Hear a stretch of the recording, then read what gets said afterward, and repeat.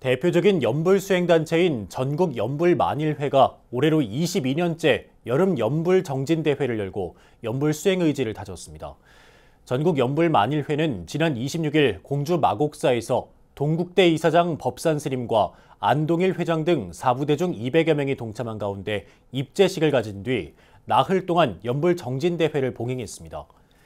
입제식에서 법산 스님은 격려사를 통해 아무리 험하고 괴롭더라도 오로지 아미타불을 염원하면 백천만억 무명 없이 집불처럼 사라지고 새벽동산 여명처럼 마음이 밝아질 것이라고 설했습니다.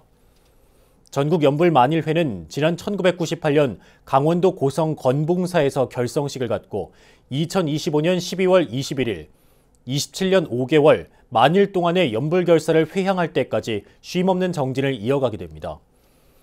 연불 만일회는 조계종 불자 대상을 수상한 법조인 안동일 변호사가 이끄는 수행단체로 연불을 통한 실행 실천과 대중 포교, 전통문화 교류를 통해 포교와 불교문화 발전에 크게 기여해왔습니다.